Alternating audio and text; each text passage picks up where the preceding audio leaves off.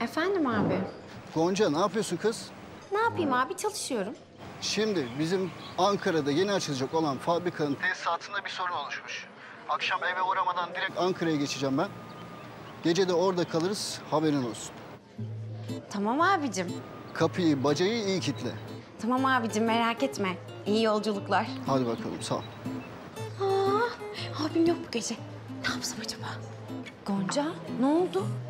Ya abim Ankara'ya gidiyormuş da. Ee, sen niye bu kadar seviniyorsun? Kızım bu şu demek oluyor. Koskocaman ev bu gece benim. Yani Erdem'le baş başa kalabiliriz. Erdem'i eve mi çağıracaksın? Ya kızım ya bir gören olursa? Zaten sizin mahalledeki komşular ajan gibi. Abim birkaç kişiyi tembih etmiştir bile göz kulak olun diye. Of Aslı ya. Resmen hevesim kursağımda kaldı. Ya ama Gonca dostun olarak benim doğruları söylemem gerekiyor. Abine yine yakalanırsan çok kötü şeyler olur. Haklısın galiba. Ne yapalım canım? Tamam.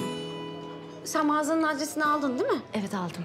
Elbiseleri bana göstermeyi de unutmuyorsun. Tamam merak etme. İyi eğlenceler o zaman. Sağ ol canım.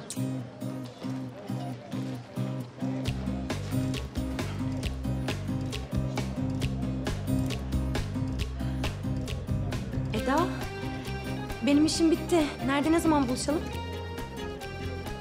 Aa, ben de o tarafa gidecektim zaten. Tamam, görüşürüz.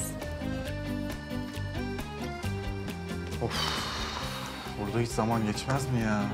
Gideceğim kuaför mağazanın hemen yanındaymış. Mesele şimdi ben oraya nasıl gideceğim? Yok artık ya. Ne öyle peşinden koşar gibi.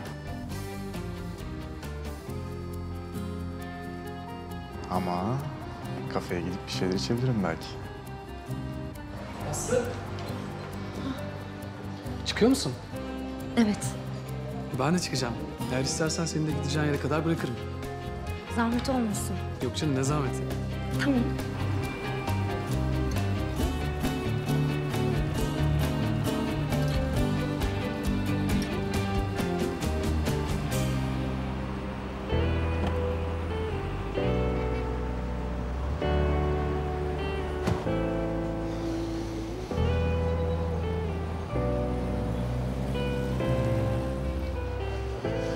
Bence burada bu kadar vakit geçirmek yeter.